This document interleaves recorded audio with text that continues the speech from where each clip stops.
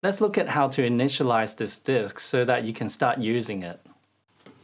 When you finish changing your NVMe or you've just installed a new SSD that is the old 2.5 inch variation, you might want to set it all up on the computer properly so that it actually starts running. Over here I've loaded disk management. If you want to load disk management, you just click on start and type disk management. And it'll give you the right one here in the control panel.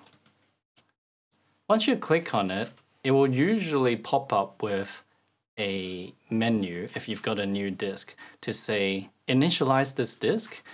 Now if you're given the choice between MBR and GPT, choose GPT if you've got a newer disk. Usually the MBR are for the older hard disks. Over here you see disk 1, it's basic. We're going to right click on this section here and then say new simple volume. The wizard will pop up. We're going to click next.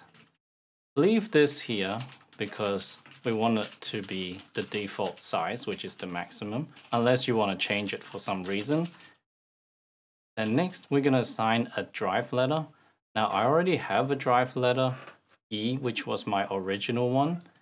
I've, so I've decided to just change it. You can change it to any letter that you're not currently using. I'm going to call it H. Next.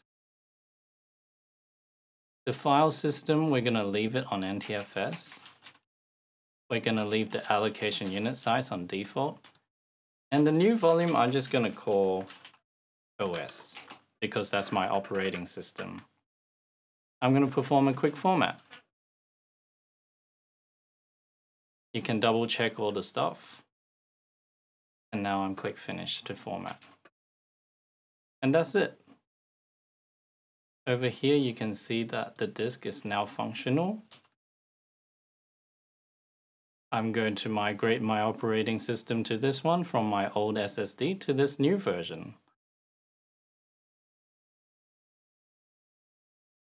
You can also click on properties, to make sure that it's got the right amount of space.